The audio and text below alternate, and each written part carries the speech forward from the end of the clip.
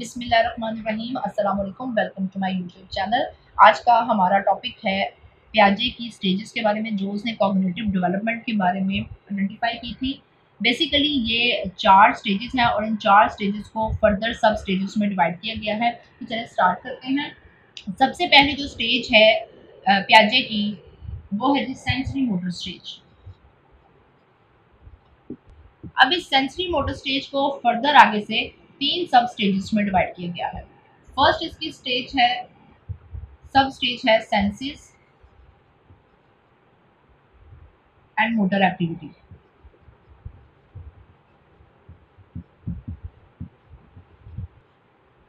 जैसा कि इसके नाम से ही ज़ाहिर है सेंसिस एंड मोटर एक्टिविटी के इस स्टेज में बच्चा अपने सेंसेस को, अपने मोटर एक्शन के साथ कोऑर्डिनेट करके इन्वायरमेंट के बारे में वो चीज़ों को अंडरस्टैंड करता है, वो दुनिया को समझना चाहता है तो यहाँ पर वो अपने सेंसेस यूज़ करेगा, देखने वाली और सुनने वाली।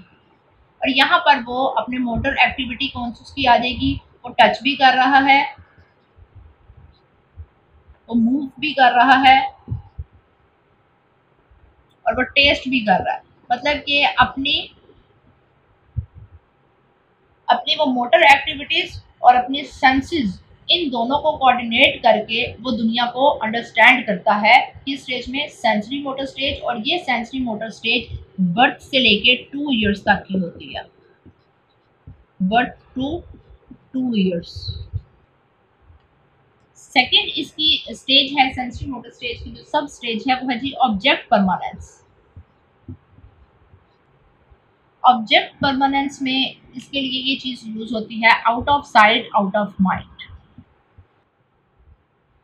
इस स्टेज में बच्चे को जो चीज़ नज़र आ रही होती है, अगर आप उसको डिसअपियर कर दें तो वो उनके माइंड से भी ख़त्म हो जाती है. यहाँ पर प्याजे की एग्जांपल देता है कि पाँच से आठ माह के बच्चे के लिए वो एग्ज़ाम्पल दे रहा है. फाइव टू एट मंथ उसका टाइम है बच्चे की एज का. तो इसमें वो कह रहा है कि जब बच्चा क्रॉल करके या कोशिश करता है किसी चीज़ को पकड़ने की तो आप उस बच्चे के वहाँ तक पहुँचने से पहले अगर आप उस चीज़ को किसी कपड़े से ढांप देते हैं तो बच्चे का इंटरेस्ट उस ऑब्जेक्ट में ख़त्म हो जाता है। लेकिन इसी स्टेज में ग्रेजुअली बच्चा जब आफ्टर फ्यू मंथ्स थोड़ा बड़ा होता है तो उसमें उसका थोड़ा बहुत इंटरेस्ट बाकी रह जाता है। आपने खुद भी देखा होगा कि शुरू के जो मंथ्स वाले बेबी होते हैं, उनको कोई चीज़ आप पकड़ाएँ उसके बाद उनसे वो चीज़ ले लें तो वो इतना बॉदर नहीं करते उस चीज़ को। लेकिन जैसे ही बच्चा आफ्टर वन ईयर आप उसको कोई ऑब्जेक्ट पकड़ाते हैं और उसके बाद उससे वो चीज़ ले लेते हैं तो वो बच्चा फिर जिद भी करता है और आपसे वही चीज़ वापस भी लेना चाहता है। तो ऑब्जेक्ट परमानेंसी की जो स्टार्ट वाली स्टेजेस है मतलब स्टार्ट वाले मंथ्स हैं, उसमें क्या होगा कि जो चीज़ आपकी, उनकी बच्चों की साइड से निकल गई, उनके माइंड से भी निकल जाती है। लेकिन इसी ऑब्जेक्ट परमानेंसी के जो लास्ट वाले मंथ्स होंगे मतलब टू इयर्स के करीब करीब वाले जो मंथ्स हैं, उसमें बच्चा चीज़ों को थोड़ा बहुत अंडरस्टैंड कर लेता है और अपनी वही रिक्वायरमेंट जो उसकी होती है, उस चीज़ को हासिल करने के लिए वो जिद करके रो के वो चीज़ हासिल करना चाहता है। उसके बाद नेक्स्ट जो स्टेज है सेंचुरी मोटर स्टेज की, वो है जी सेल्फ एंड द वर्ल्ड यहाँ पर प्याजे कहता है कि बच्चा अभी इस काबिल नहीं होता कि अपने आप में और दुनिया में डिफ्रेंशिएट कर सके चीज़ों को। लेकिन जैसे ही वो थोड़ा सा टू इयर्स के करीब आता है तो वो चीज़ों को डिफ्रेंशिएट करना शुरू कर देता है। स्टार्ट में उसे बिल्कुल भी पता नहीं होता। जब वो इन्वायरमेंट के साथ कांटेक्ट करता है, तब उसे बिल्कुल भी चीज़ों की समझ नहीं होती। लेकिन जैसे ही क्योंकि इस स्टेज में जो थॉट्स होते हैं, वो बहुत डिसऑर्गेनाइज होते हैं। लेकिन ग्रेजुअली वो रियलाइज़ करता है कि कुछ बाउंड्रीज हैं, जो मेरे और मेरे इन्वायरमेंट के गिर्द बनाई गई हैं और जिसको मैंने फॉलो भी करना है। तो फिर इन बाउंड्रीज को अंडरस्टैंड करने के लिए बच्चे के अंदर क्योरसिटी पैदा होनी शुरू हो जाती है कि मुझे भी इन्वायरमेंट के बारे में पता चले कि ये चीज़ें क्या हैं तो वो खुद में और वर्ल्ड में डिफ्रेंशिएट करने के काबिल होना शुरू हो जाता है सेंसरी मोटर स्टेज के बाद। तो ये इसकी तीन सब स्टेजेस थी सेंसरी मोटर स्टेज की senses and motor activity object permanence and self and the world जी, प्याजे की जो सेकंड स्टेज है, वो है pre operational stage pre operational stage ये दो से सात साल के बच्चे के लिए होती है। इस स्टेज में बच्चे के जो सिंबॉलिक थॉट्स हैं, वो इंक्रीज होना शुरू हो जाते हैं। अब इसकी भी फर्दर आगे से सब स्टेजेस हैं, वो देखते हैं। फ़र्स्ट जो इसकी स्टेज है प्री ऑपरेशनल की, वो है सिमोटिक फ़ंक्शन सिमोटिक फ़ंक्शंस में क्या होता है कि बच्चा इस काबिल हो जाता है कि वो सिंबल्स के थ्रू इमेजेस के थ्रू साइंस के थ्रू मतलब डिफरेंट चीज़ों के थ्रू वो चीज़ों को अंडरस्टैंड करने के काबिल हो जाता है। फॉर एग्ज़ाम्पल अगर क्लासरूम में टीचर बाइसिकल की पिक्चर दिखाती है बच्चे को तो बच्चा उसको रियल जो बाइसिकल है उसके बारे में वो उसको अटैच कर लेगा कि हाँ जी, जो ये पिक्चर दिखाई गई है, ये रिप्रेजेंट कर रही है रियल बाइसिकल को. बट एक्चुअल में सिमोटिक फ़ंक्शन ये नहीं है. बल्कि सिमोटिंग फ़ंक्शन ये है कि कुछ ऐसे बच्चे जो कि इस एज में आने के बाद भी बात नहीं करते, बोल नहीं सकते, क्योंकि आपने बच्चे गौर से देखे होंगे जो कि लेट एज में जाके बोलना शुरू करते हैं। तो ऐसे बच्चे जो कि दो से सात साल के एज में लेट बोलना शुरू करते हैं और वो बच्चे अपनी बात समझाने के लिए क्या करते हैं कि अगर उन्होंने पानी पीना है तो वो आपको ग्लास ला के पकड़ाते हैं। इस ग्लास का मतलब होता है कि जी मुझे प्यास लगी है सेकंड जो सब स्टेज है प्री ऑपरेशनल की, वो है जी डेवलपमेंट ऑफ़ लैंग्वेज यहाँ पर दो से चार साल का बच्चा, तकरीबन 200 से 2000 वर्ड्स सीख लेता है। नेक्स्ट है थर्ड जो इसकी सब स्टेज है प्री ऑपरेशनल की, वो है जी difficulty in conservation difficulty in conservation conservation rule कहते हैं, जिसमें बच्चा क्वांटिटी को मैयर करने के काबिल नहीं होता। फॉर एग्ज़ाम्पल आप अगर उनको किसी बड़े क्लास में पानी देते हैं या जूस देते हैं या कोई भी ऐसी उनकी मनपसंद कोई चीज़ देते हैं बड़े ग्लास में और एक ऐसा ग्लास जो चौड़ा होगा और उसमें वो सेम क्वांटिटी आएगी तो बच्चा आपसे जो बड़े वाला ग्लास है लंबाई में, वो बोलेगा कि मुझे ये वाला ग्लास चाहिए। क्यों? क्योंकि उसको लगेगा कि इसके अंदर क्वांटिटी ज़्यादा है, जो चौड़ा है उसमें क्वांटिटी इतनी नहीं है। तो ये कंजर्वेशन रूल होता है और प्री ऑपरेशनल स्टेज में दो से सात साल का बच्चा अभी कंजर्वेटिव रूल को अंडरस्टैंड करने के काबिल नहीं होता। स्टेज में बच्चा वो चीज़ रिक्वायर करेगा जो उसको लंबाई में ज़्यादा लगेगी। नेक्स्ट है स्टेज इसकी प्री ऑपरेशनल की इकोसेंट्रिसिज्म इस स्टेज में बच्चा खुद जो एक्सपीरियंस करता है चीज़ों को, उसको लगता है कि बाकी दुनिया के लोगों के साथ भी वही सेम एक्सपीरियंस होता है. फॉर एग्ज़ाम्पल अगर बच्चा किसी डॉग से डर रहा है तो उसको ऐसे लगेगा कि बाकी जो बच्चे हैं, वो भी उस डॉग से डरते हैं. उनको भी वही सेम फियर है जो उसको फियर है. मतलब वो अपनी थॉट्स को दूसरों के ऊपर जनरलाइज कर देता है। वो ये सोचता है कि दूसरे भी सेम वैसा ही सोचते हैं जैसा मैं सोचता हूँ। Next next pre operational stage की जो सब स्टेज है वो एनिमिज्म यहाँ पर दो से छः साल का बच्चा उसकी नज़र में हर चीज़ तब तक ज़िंदा है जब तक वो टूट नहीं जाती या वो डैमेज नहीं हो जाती। अगर आपने कोई चीज़ छुपा दी तो फिर भी फिर भी वो आपसे उस चीज़ को हासिल करने की जिद करेगा। जब तक वो चीज़ उसकी आँखों के सामने टूट नहीं जाएगी, डैमेज नहीं हो जाएगी, तब तक वो, उसको ये यकीन नहीं आएगा कि वो चीज़ अब नहीं रही। लेकिन जैसे ही बच्चा आठ से दस साल की एज में जाता है तो वहाँ पर उसको ये रियलाइज़ हो जाता है कि जो चीज़ खुद चल फिर सकती है, वही चीज़ ज़िंदा है।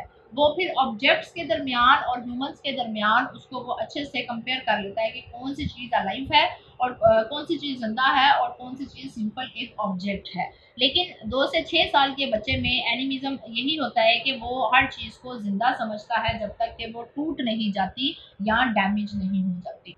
तो ये प्री ऑपरेशनल स्टेज की सब स्टेजेस थी semiotic function development of language difficulty in conservation egocentrism and animism next जो प्याजे की स्टेज है मेन स्टेज थर्ड वाली है कंक्रीट ऑपरेशनल स्टेज ये सात से ग्यारह साल के बच्चों के लिए इसका जो फ़र्स्ट सब स्टेज है, वो है principle of conservation pre operational में बच्चों में कंजर्वेशन रूल बिल्कुल नहीं था, लेकिन कंक्रीट ऑपरेशन में कंजर्वेशन रूल बच्चों के अंदर डेवलप हो जाएगा।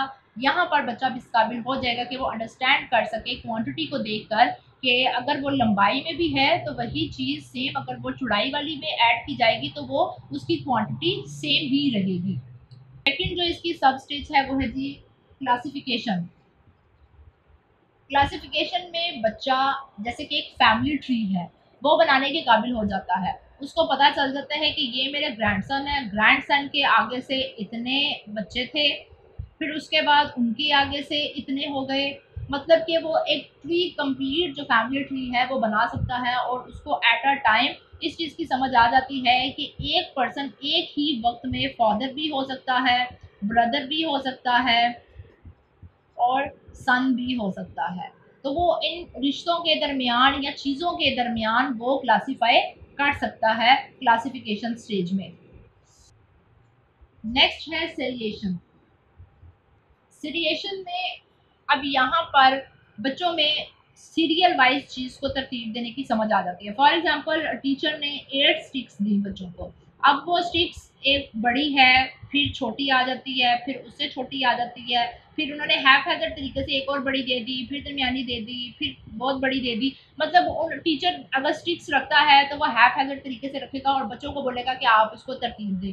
अब यहाँ पर कंक्रीट ऑपरेशनल में बच्चा इस काबिल हो जाता है कि वो बिल्कुल तरतीब से रखना शुरू कर देता है स्टिक्स को। ये बड़ी है, ये छोटी है, ये उससे छोटी है, ये उससे छोटी है। तो तो कंक्रीट ऑपरेशनल स्टेज पर जो बच्चा होता है, वो स्टिक्स को बिल्कुल तरतीब से लगा देगा। लेकिन प्री ऑपरेशन में बच्चा इस काबिल नहीं होता। तो कंक्रीट ऑपरेशनल स्टेज में बच्चा बिल्कुल तरतीब से उन स्टिक्स को लगा देगा, क्योंकि उसके अंदर ये सेंस पैदा हो चुकी है सिलेशन की। नेक्स्ट सब स्टेज है ट्रांसटिविटी ट्रांसटिविटी में थोड़ी सी लॉजिकल रीजनिंग बच्चे के अंदर डेवलप हो जाती है। फॉर एग्ज़ाम्पल अगर टीचर तीन स्टिक्स प्रोवाइड करता है स्टूडेंट को, ये तीन स्टिक्स प्रोवाइड की अब बच्चे को पता चल गया कि जो ये इसको हम ए इसको बी और इसको सी का नाम देते, दे देते हैं।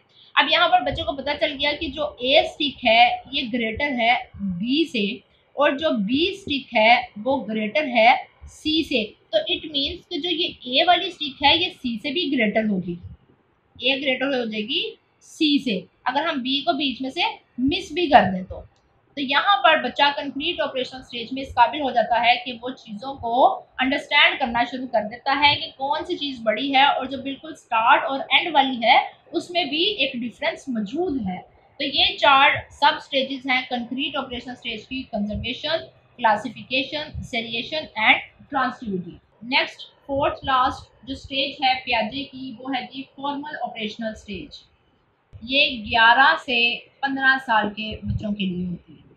अब इस स्टेज पर बच्चा कंक्रीट चीज़ों से निकल कर एब्स्ट्रैक्ट थिंकिंग की तरफ़ जाना शुरू कर देता है। जो उसको नज़र नहीं आ रहा, लेकिन वो उन चीज़ों को फील कर रहा है, वो अंडरस्टैंड कर रहा है, वो बियॉन्ड रीजनिंग चीज़ों को समझना शुरू हो गया है। कंक्रीट स्टेज में सिर्फ़ जो कंक्रीट ऑब्जेक्ट्स थे, उसकी सोच सिर्फ़ वहाँ तक थी। लेकिन फॉर्मल ऑपरेशन में अब कंक्रीट से निकलकर वो एब्स्ट्रैक्ट थिंकिंग की तरफ़ जाना शुरू हो गया है। यहाँ पर उसके लॉजिकल व्यूज़ हो जाएँगे। वो आइडियलिस्टिक होकर सोचना शुरू कर देगा। अब इस स्टेज में फॉर्मल ऑपरेशनल स्टेज में बच्चा इस काबिल हो जाता है कि वो किसी हद तक अपनी प्रॉब्लम्स को सॉल्व करने की तरफ़ आ जाता है। सॉल्व प्रॉब्लम तो ये थी जी प्याजे की चार stages sensory motor stage pre operational stage concrete operational stage and last जो है फोर्थ वो है जी formal operational stage sensory motor stage birth से टू इयर्स तक की होती है।